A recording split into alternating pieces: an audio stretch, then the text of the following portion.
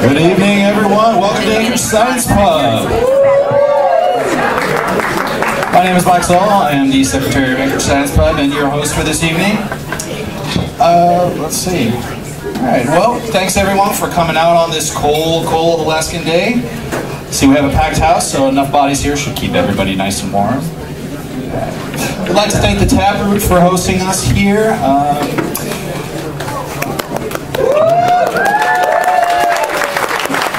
There you go. Taproot is a fine purveyor of warm food and cold beer, so order plenty of it. Uh, we'd like to thank Alaska Commons for coming out and filming our uh, presentations. You can find them on their website, alaskacommons.com. And you can also view uh, past science pubs that we had for uh, the year.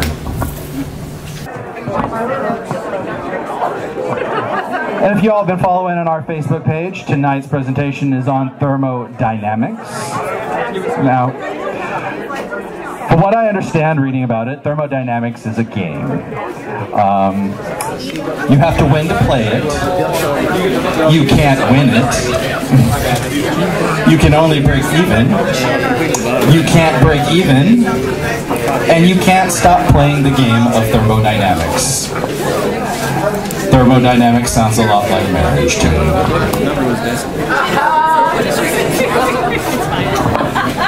And getting into it, our presenter is here today to explain the simple beauty of the laws of thermodynamics. She's a mechanical engineer, a writer, a musician, an obsessive thermodynamic, thermodynamics geek. Her musical Gracie and the Atom won a Portland Drammy for original score. Her book Physics for Rock Stars was published in 2014 by Penguin uh, Random House, and I believe she had a few that she brought here today to be sold. Uh, she hosted Brad Meltzer. Brad Meltzer's Decoded on the History Channel and Under New York on Discovery Channel. Please give a warm welcome for our uh, our our speaker here today, Miss uh, Christine McKinley.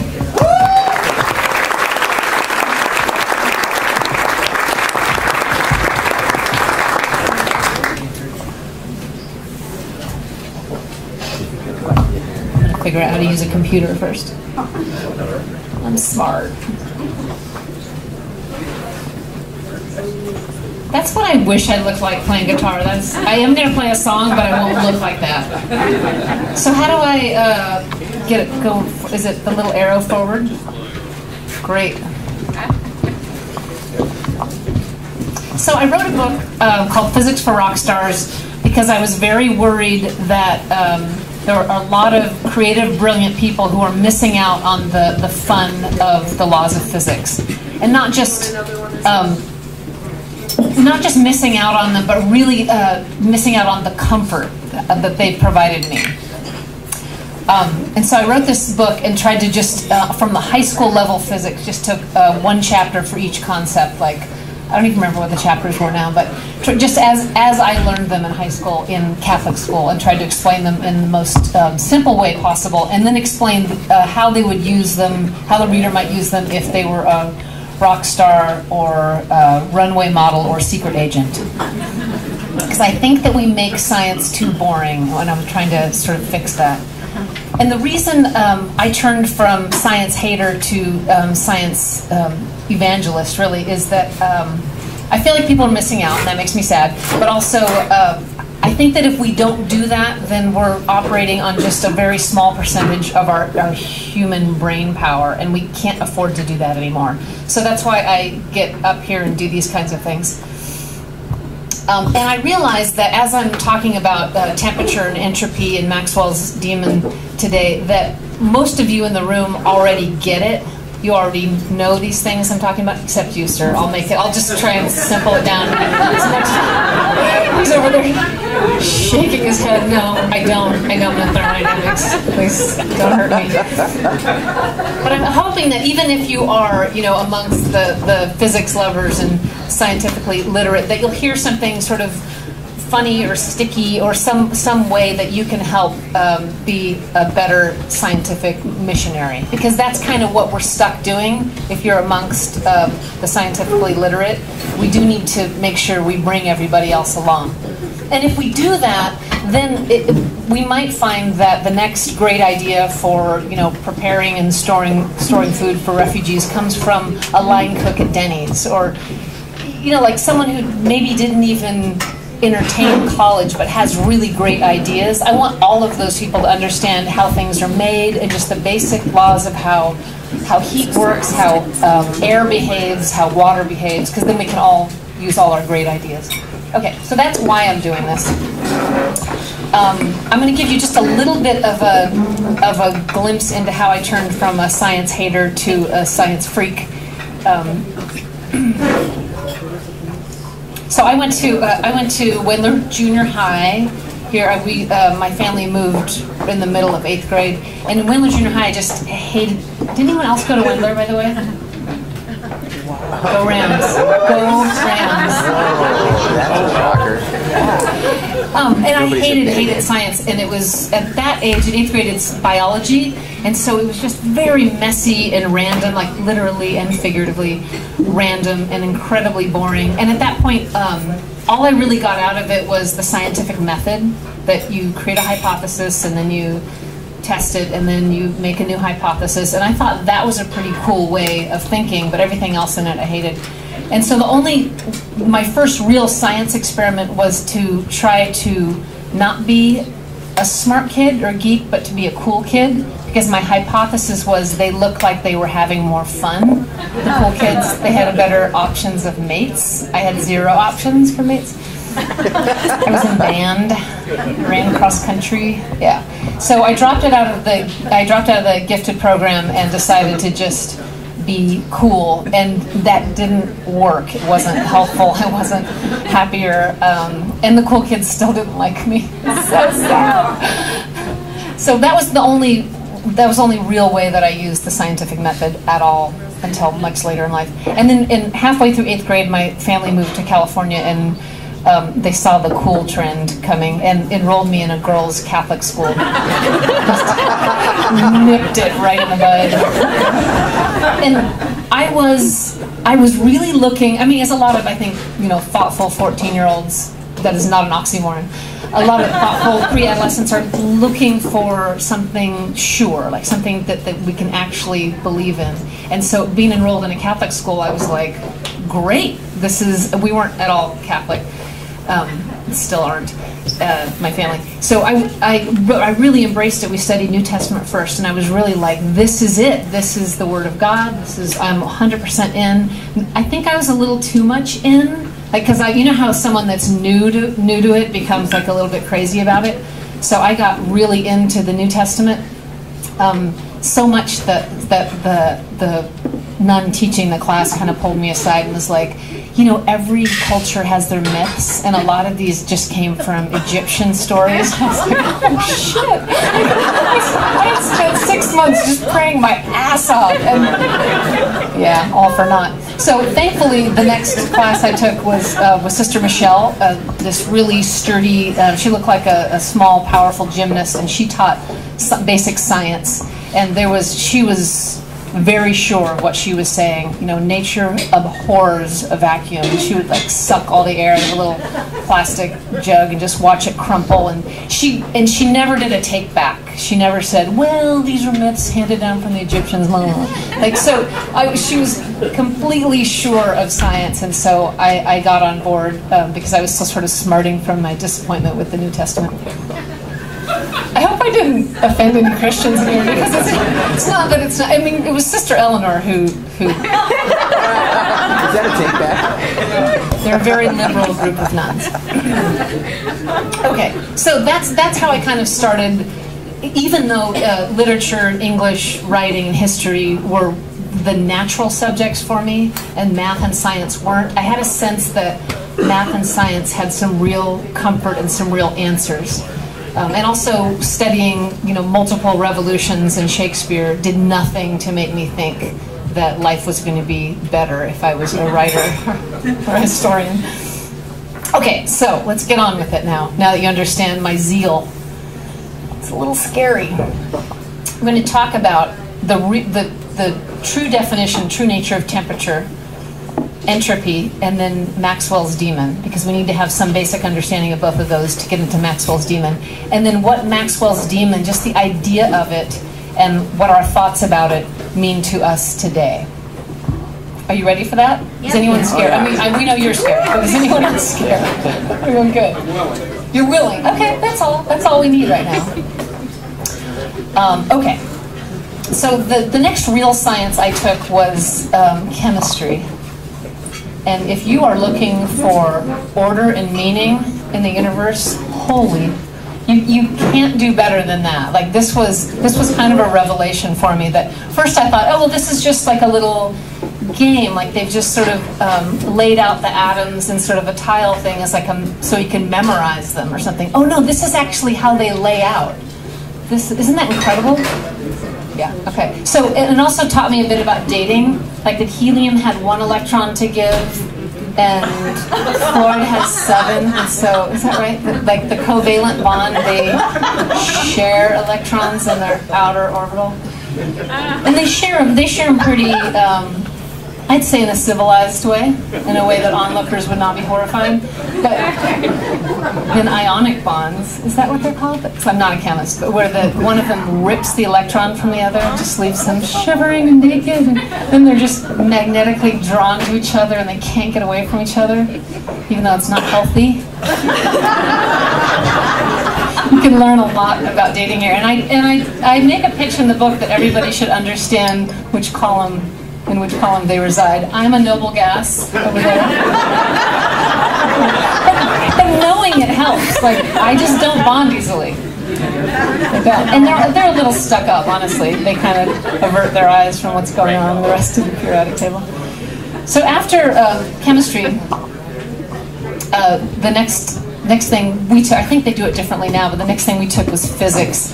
And that's where um, I had a crush on chemistry, but physics I just absolutely fell in love with.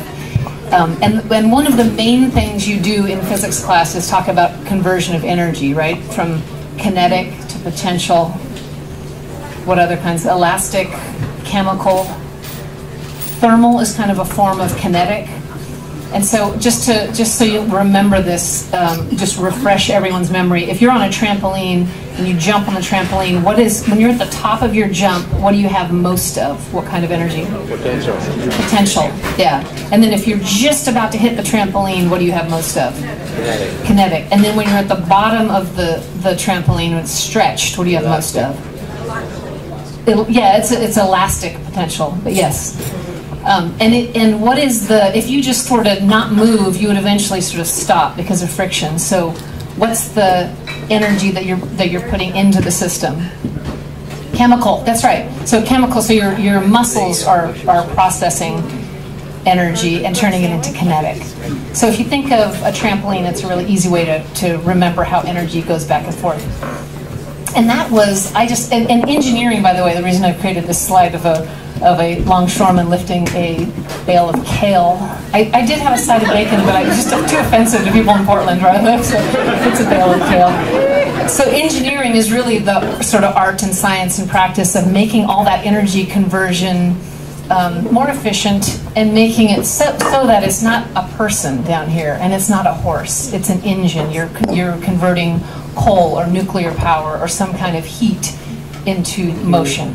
So that, that is really, in a sense, what engineering is. You're moving energy around and putting it where you need it most, in the most efficient way. So in physics, I was about three quarters of the way through physics. I was just 100% on board, felt just like the world was opening up to me. And then our teacher explained the second law of thermodynamics. So the first law is energy is neither created nor destroyed. Yeah, it just it just um, changes forms, like in the trampoline. The second law is, you can say it a million different ways, but um, whenever any one of these transitions takes place, it's done so in a messy way that can't be reversed. You can't just hit it in reverse and take it all back without some energy loss. I know it's sobering, it's almost sad. Everyone got very quiet. So, so um, to an engineer, what this means, what entropy means, it sort of suggests that concentrated energy has less entropy than diffused energy, right? So a system, this, uh, um, a, a tank with steam in it can do work. See that piston? It, it can move that piston, and work is force times distance, right? If I let out some of that steam and let the steam into the room, it will bounce other molecules around and it'll do some work, but it won't be useful to me anymore. Right? Right. Everything settles. Heat creeps and everything settles. Okay, so let's get, so before we get too far into that, let's get into the, the real meaning of temperature. So temperature is, is really when we talk about how warm something is or how cool something is, we're talking about how quickly the molecules are moving around. I'm just going to use molecules rather than atoms and molecules. So, gosh, I can't, I don't have a pointer. But if you see the, see the red line, if that's a line for one temperature, the, the molecules are actually speeding around all at different speeds. So if you go back to that piston, those molecules are, it's not really a racetrack as much as it is bumper cars. And we don't really feel that, we just feel what the, we feel what the room feels like because our molecules are responding to that. But if you look at the speed of each molecule, and this is important later for Maxwell's demon, there's actually a distribution of speeds. And as you, as the temperature gets colder, the distribution gets tighter and the molecules move more slowly.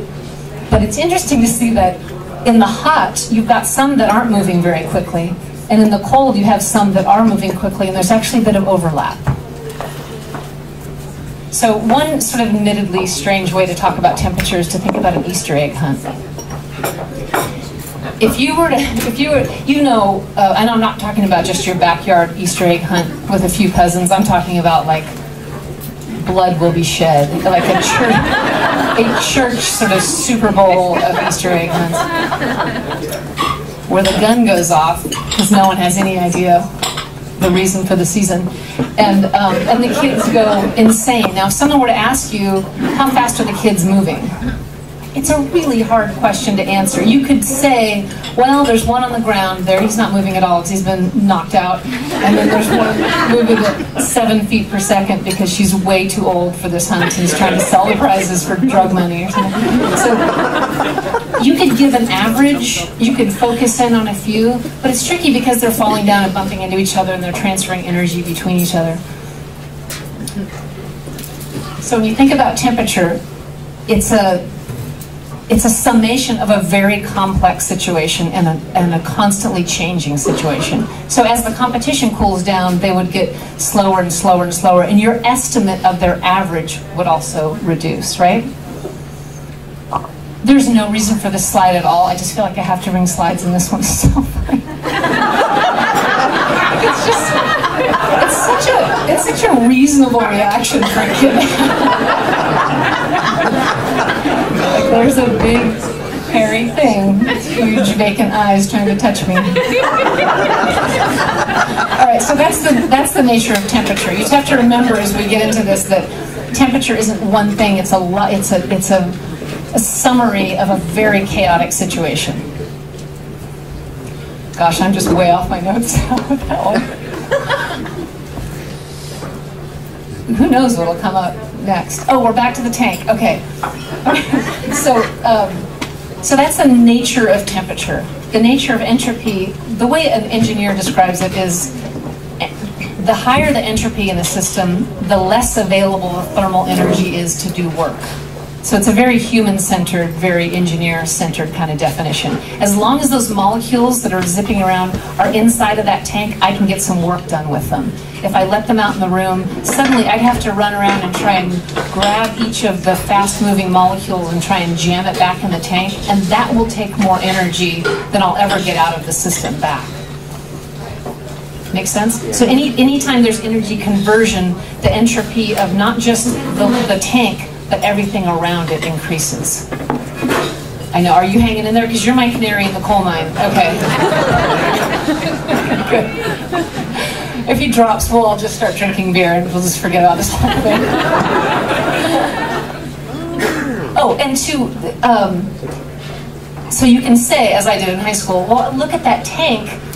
whatever you did to heat that up and get those molecules moving quickly, that was a that was an exercise in the reduction of entropy. Well, not really, because you had to do you had to either fire up an electric heater or burn some coal or light a lighter. You had to do something that had its own inefficiencies built in. This is a very very um, simple cartoon of a power plant. So off on the upper right is the is the generator turning, but in the lower left, you've got to add something to create that heat for the steam turbine. So in order to make that tank heat up, this is what's happening way, way, way down the line. So whenever you think, aha, the entropy is actually is actually being reduced in this situation, all you have to do is pull the camera back and you'll find that that isn't true. I know you're going to walk around and just, aha, trying to break the law, of second law of thermodynamics. Our refrigerator, okay, this is the one that if you think about, well, my refrigerator does a great job of keeping the hot out the back and the cold inside. So it's breaking the second law, right? Well, it's not really, because if you look at the refrigeration cycle, which I will not talk you through, most of you know it anyway, right? If you look at the refrigeration cycle, something, see that W on the right side? That's work. We're putting work into the system. So in order to get that cold and that hot separated, we're doing something. We're burning electricity, we're burning gas, we're doing something over there. I really did want to talk you through the refrigeration cycle, but now I feel like it would be too much. It would. It's easy. It's reversible, can go either way. Okay, so now we're now we have some understanding of the randomness of temperature and what entropy is, right? Okay, you already did. Good. This is um, this is is it James Clerk Maxwell? Uh, he's a Scottish scientist with a hell of a beard. I just I love a good beard, even when it sort of separates in the middle like that. He still gets full points for that. Um, there's a lot of Scottish guys on the. They'll, they'll, you'll see a few more beards, by the way. I'm a little bit obsessed. Um, so he, he created a thought experiment um, around this whole second law of thermodynamics. And he said, well, what if, let me see, let me just make sure there's no Easter bunny or something. So we know, we've already said that if you've got hot, fast-moving molecules and you have cold, slow-moving molecules, if you let them just sit there, ignore the demon for the moment, if you let them just sit there, it's all going to turn warm and blah. The, the fast-moving ones are going to knock around the cool ones. The cool ones are going to take the energy from the fast-moving ones, and it's all going to just turn warm. That's how it works, because heat is creepy, and heat just creeps into the cold side. But Maxwell said, well, okay, what if we just um, placed a little, a little, well, we'll call it, a, we'll go ahead and call it a demon. He didn't name it that. But what if we pla- placed a, a little gatekeeper right there? And every time there was a particularly slow-moving molecule on the hot side, we open the demon opened the gate. And every time there was a particularly fast-moving one on the cold side, the demon opened the gate. Because remember, there are kind of slow ones even on the hot side, and there are kind of fast ones even on the cold side, because this is just a big old Easter egg hunt. So what if, what if the demon was, ju- and this is the way he described it, was just this um, infinitely intelligent being that could just know the, the motions of every molecule and open the gate at just the right time. So, well, first of all, first problem is there aren't eight molecules on each side. There are, I don't know how many. What's a mole? Six times 10 to the 23rd, and there are many moles. So it's a mind-boggling number of molecules. I think there's going to be another beard on the slide. So this was Maxwell's thought experiment. Oh, and this is this is my version of a Maxwell's demon. It's kind of a, a bouncer at a club. Like you're you're hot enough, you're moving fast enough. You get through here. Like you're cool enough. You, you get through. No, no, no, not your friend. Just you. Just you. that's that's what I imagine Maxwell's demon doing on a molecular level. But you can already see where this is going, right? You can already see the problem. So this is Lord Kelvin, who named Maxwell's demon the demon. He was the one that gave it the name, and I think he did it just to be shitty. I don't think he, I don't think he wanted, I don't think he liked the idea of the second law being broken. And also, he was jealous because his beard is not as cool. Clear to me.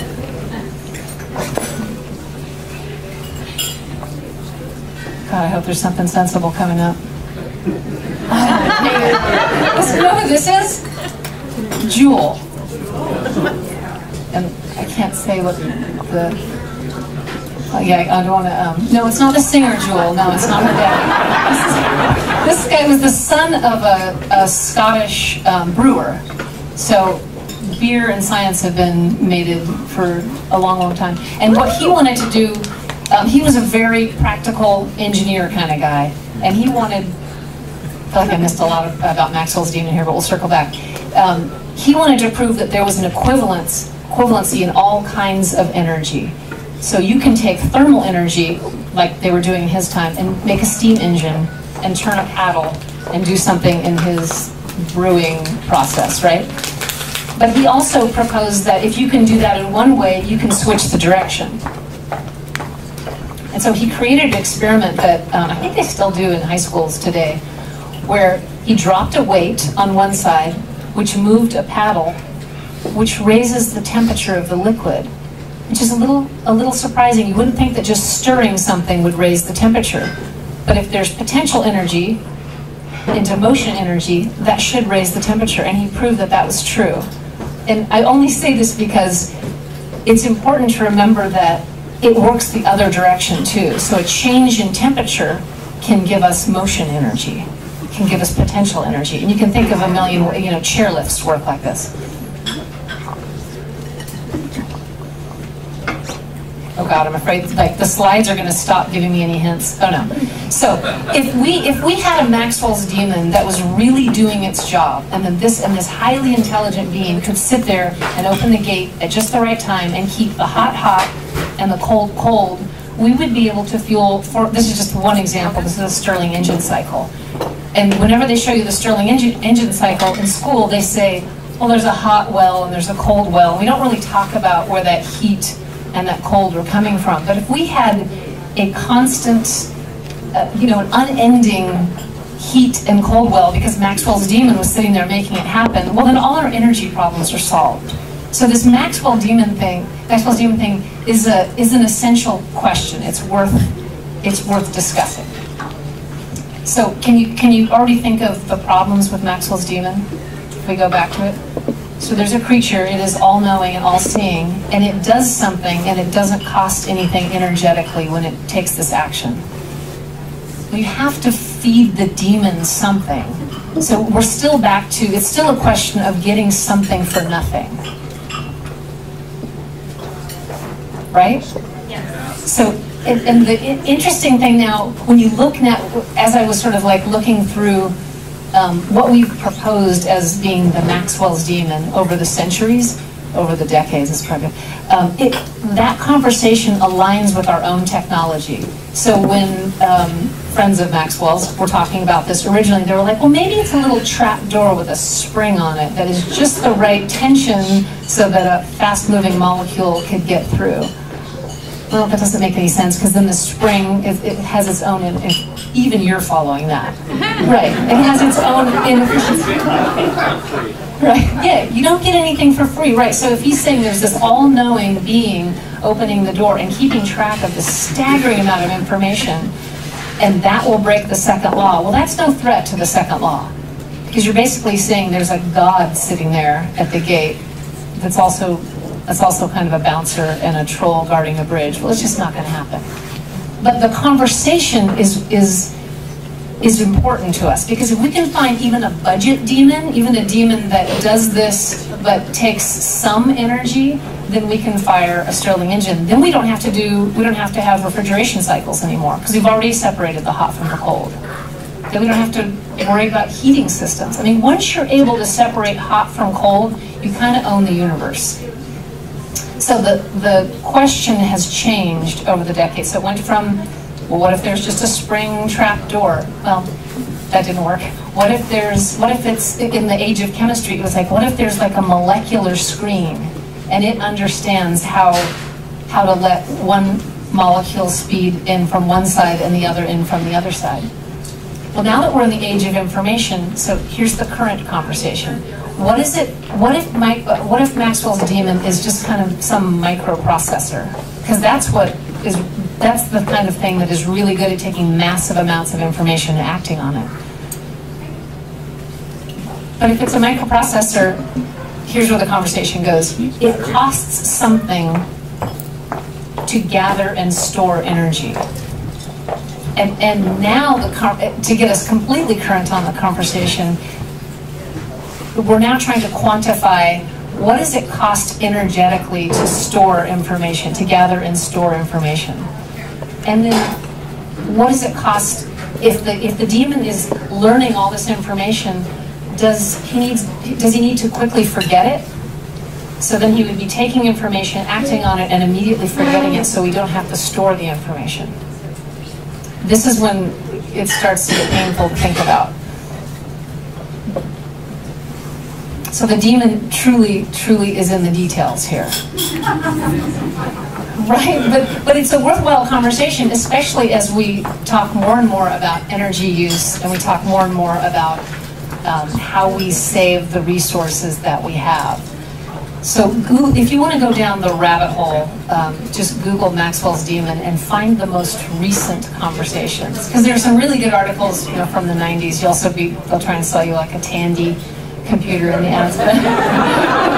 but if you get yourself current on the conversation, it is a fascinating ride through our understanding of technology. Okay, I am not sure what's happening here. Oh, it's just yeah, it's just back to, to Maxwell because it's worth it's worth really thinking through why this doesn't work. This guy is sorting, right? But when he opens the gate, he's he's taking some action and he needs some fuel.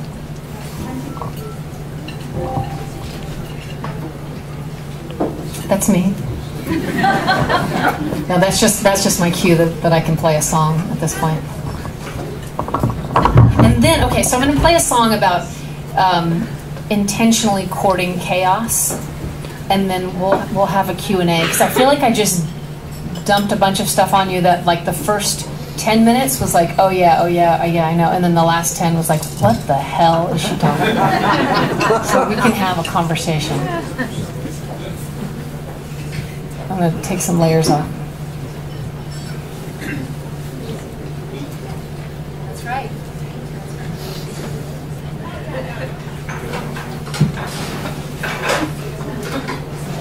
I really think that even if we, um, like it's a really grown-up exercise to look at not just how we spend energy, um, but what the collateral chaos is. And, um, and this is where I get weird. I do think that, that oh, this is where you get weird? I do think that that is also a really good um, personal exercise to figure out what are my actions, you know, they're helping me. I, I'm, I'm better off because of this job or because of this action um, but what is the collateral chaos out in the world? And I think that even if we're the smartest, most compassionate adults, we still have a craving for chaos, and every now and then we just light some shit on fire, figuratively and literally. That's what this song is about. And it's also about like being totally devoted to the not being able to take something back, doing something that you don't even want to take back, and that um, that you're just reveling in the irreversibility of it. I'm super fun on a first date.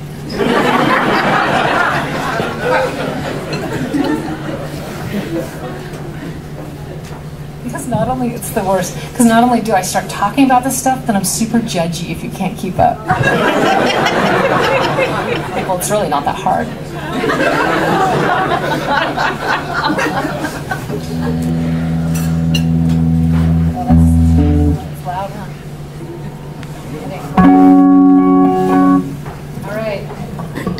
Doing this. It's a song about chaos. I use the word entropy. I don't know why I'm not a huge hit on the radio. and I forgot uh, to ring a pick, and so one was provided.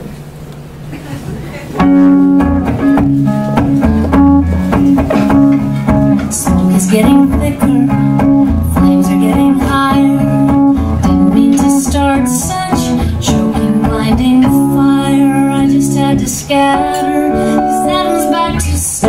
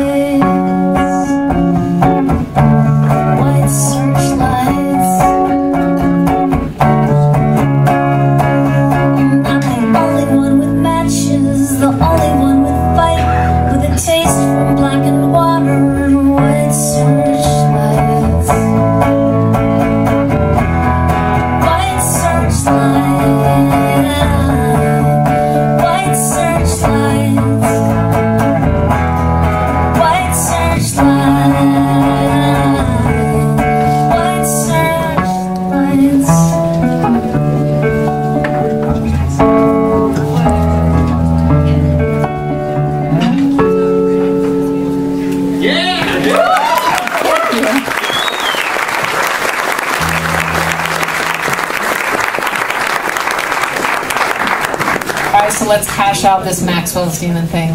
Open discussion.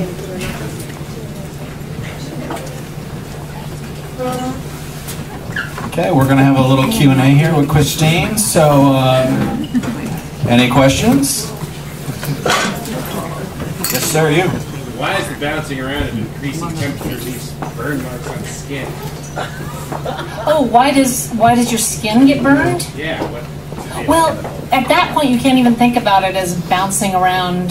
It's, it's that your um, skin is, is flammable, meltable, whatever. So it, it, uh, it gets enough energy to start a chemical reaction. Just like if you were burning a log, like, like the log on its own doesn't burn, but once you start a reaction, um, the bonds want to go to the least possible energetic state. And so that's a combustion reaction. I lost you somewhere, didn't I? Well, if, if temperature is molecules moving around really fast, is Uh-huh. like a five trillion car pileup on the highway? It's more that um, once they're moving around fast enough, they provide enough energy for a chemical reaction. Oh, for changing?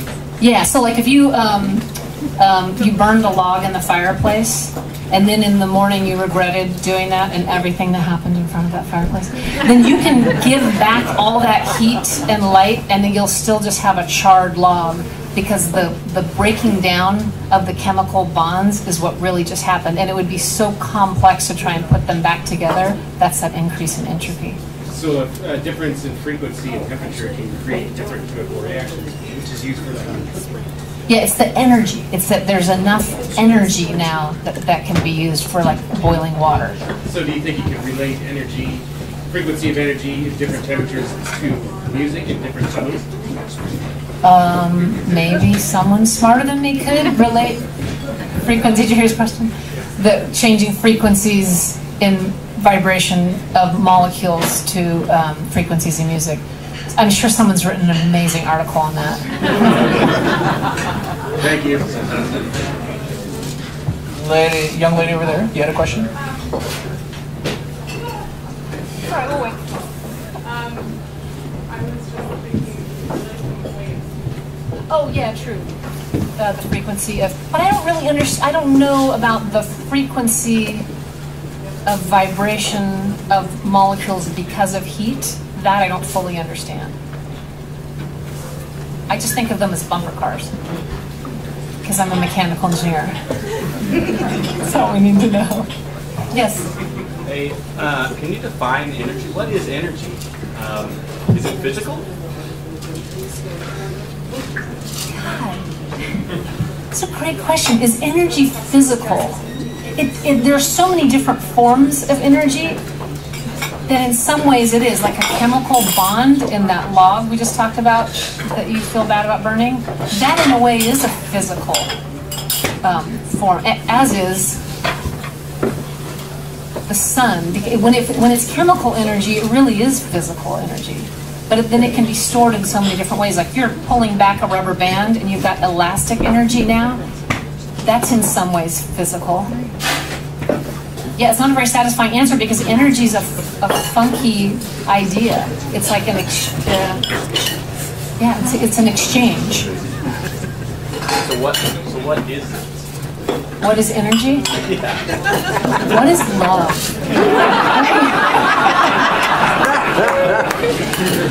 what is energy? Yeah, do you have an answer for that? I feel like you do. Oh, does someone have a better answer? So what are the, I mean, we could look at the units of energy. Well, the ability to do, yeah, but that's a very self-serving definition of energy. Yeah, it's the ability to do work, but that doesn't really get to the nature of your question. That's like saying love is the ability to have babies. Lust, sorry. Yeah.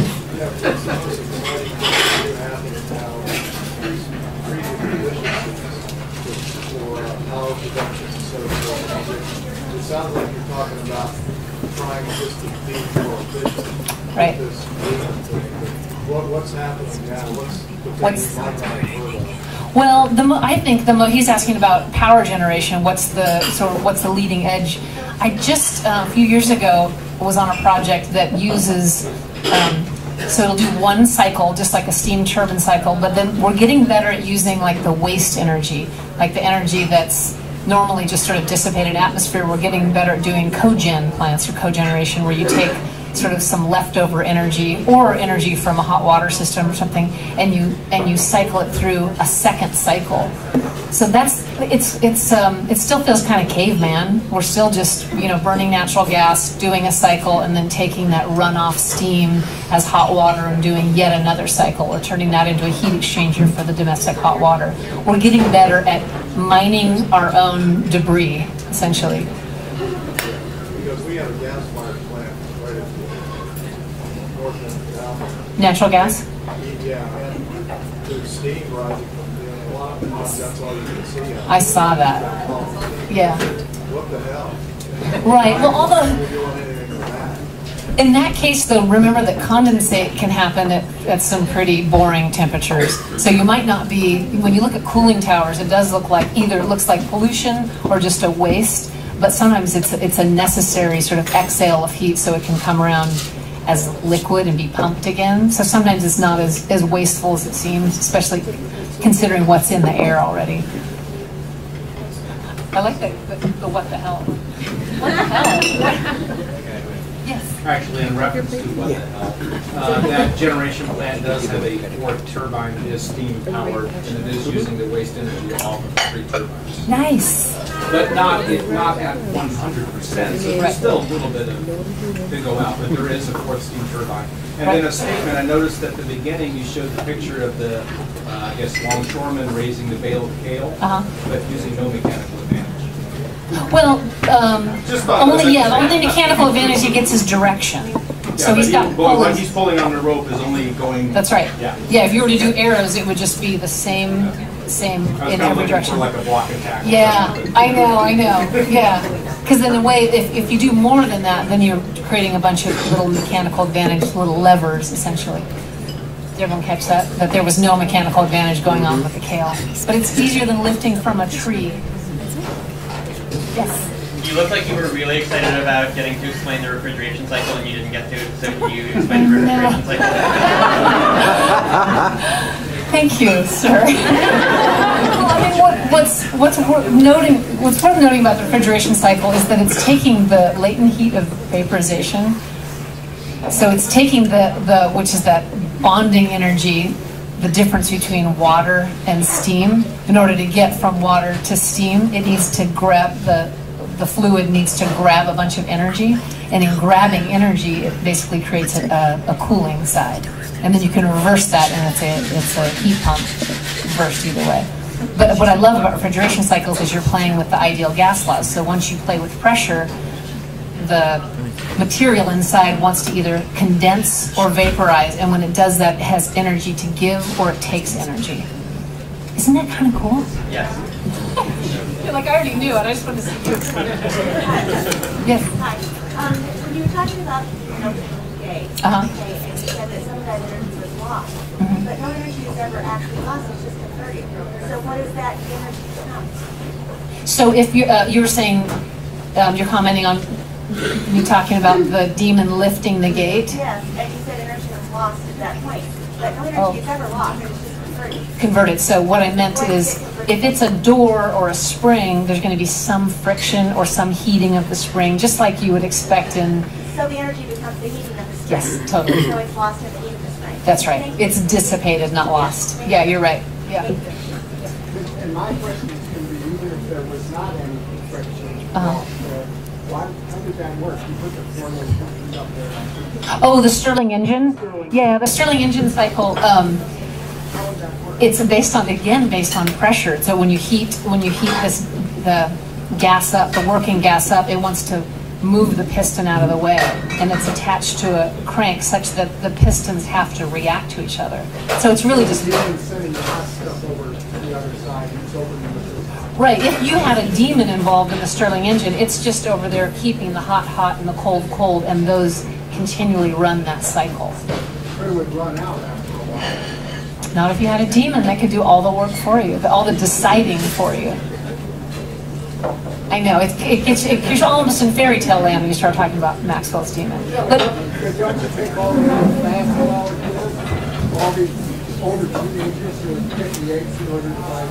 don't you take all the basketball kids, all these older teenagers who are 58, 205 drugs? Once you put them over on the other side, you know, Oh, you'll run out of actual atoms after a while? Maybe, but, but you'll have a hot and a cold well. So we're assuming you can bring atoms in. Yeah, I, yeah, the Stirling engine was a little, was a, was a little tough one. Does the Stirling engine exist? Yes, Stirling engine does exist, yeah. Yeah, and the, oh, I don't want to give away the questions, the answers to the, yeah. And there are certain cycles that are considered, you know, ideal cycles, but you can't actually do in the world.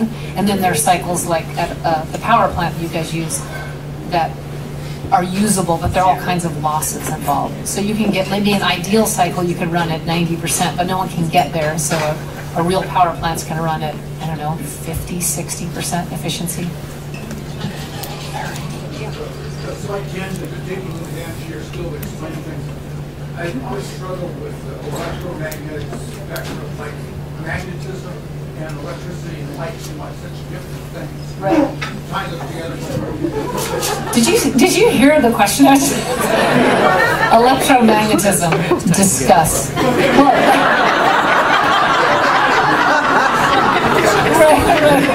Feel free to use any media.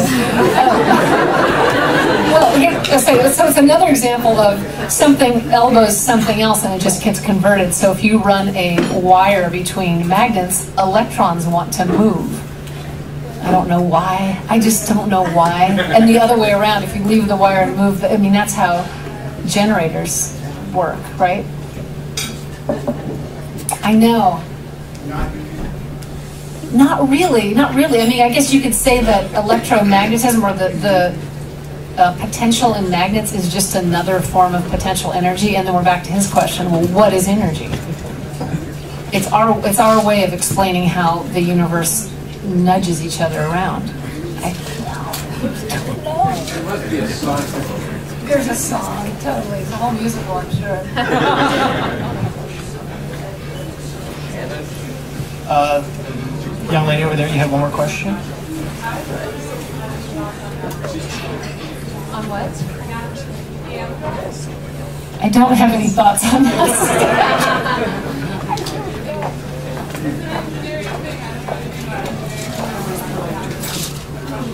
I often have my head down doing HVAC design um, for cities and Portland, and Portland Water Bureau, and so I don't always get to sort of, unless I'm reading like an ASHRAE journal. I'm gonna Google it now, though.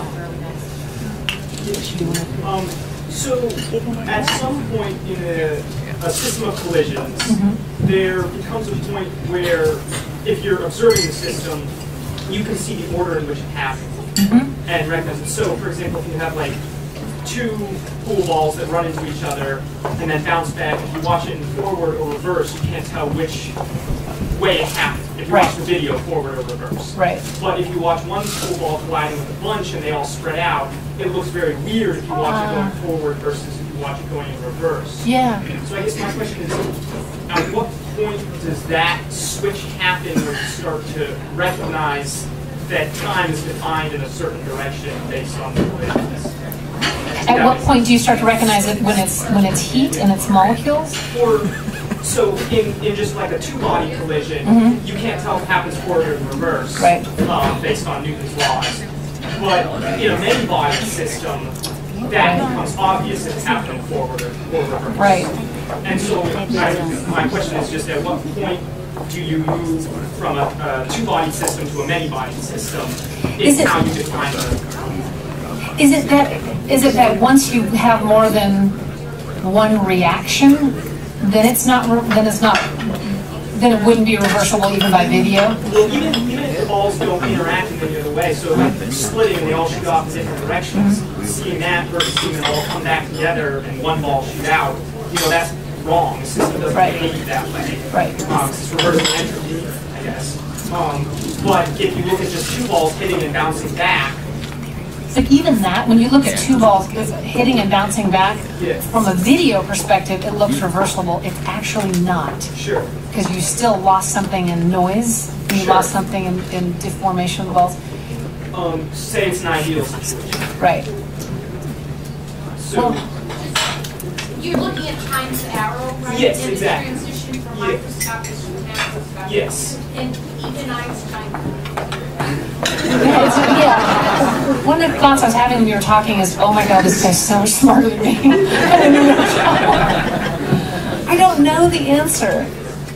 I think it's a worthwhile question though, and what she's saying is absolutely true. When you start to go from thinking from molecule, molecules to pool balls, you're in trouble. Thank you. I think I think she was Yes? she kind of had a point. I I was saying that like with the with his question, um, video doesn't capture the heat energy or the sound energy lost, and so if you could truly see the reaction in reverse, you would see sound energy disappear and the balls cool down, and that also would not make sense. Right, in order for those, that, that two, the two, the balls hitting each other, you have to give back the sound energy, you have to Right. give back the collision energy. It's like, and it's like that burned log again, you can't do it. It's just Right. too diffused at that point. So, and at least, at least the way I understand it, I don't think that there is a certain point in which it becomes like you know a many-bodied system or whatever. I think truly, if you do look at it in reverse, then it does not. That's right. It's already not reversible, even just the, the two collisions, yeah. agreed. Did you have a question over here? Uh, I was, uh, I was thinking Okay. I don't know if anybody's that smart. Yes. Yes, hi. Um, My question and then suggestion is going to indicate what kind of grades I got in physics. But uh, the chart that you showed us, chemical chart, I was wondering, because you you mentioned uh, attraction, and you mentioned love and, you know, other things throughout this. Uh, The periodic table, yeah. And, and have you, yeah, have you considered recommending that chart for use by dating services? The periodic, periodic table dating service. Well, I wrote a whole chapter on it. Yeah. Well, I've got, I've had the book for several days, and unfortunately, I've not had time to read it, but. You know, and that's, by the way, that chapter about um, covalent and ionic bonds, because then I get into um, water, H2O, threesomes and chains, and then I just refer to like how indecent it becomes, how quickly. Um, that chapter, uh, uh, a community college wanted to use the book, but they found that chapter problematic, so I had to give them a PDF copy and pull the chapter. It was so indecent. What what you have created here, and I think anyone looking around will think, as I did, darn, I knew I should have gotten there sooner. Uh, you- You've shown what people want, and I think. Oh, good. I think a great slogan, that I first thought of it months ago, when I heard it the first time, since this would with changed, that we should have is that we want to make America smart again. Yes, make America smart again. Yeah. Yeah. And I think, I mean, I think there is, there is a, a sort of patriotism in being as smart as you can be. Yeah, yeah, absolutely. All right, well, I'd like to thank Christine for her presentation here today. She's going to be here a little while longer, so if you'd like to have a one-on-one with her, she'll be right over here. Uh, she does have a few copies of her book still available for purchase, so they're on the table over there. So if you're on your way out, take a look at them. Uh, we'd like to present Christine here, oh, before she steps down, with one of our uh, new Pilsner glasses that we've just gotten in. It's got the Anchorage Science Club logo on the front, and of course the molecule for ethyl alcohol on the back. and then a gift from Fruit, a, uh, just a little gift card so she can get a meal in her stomach before she has to leave today.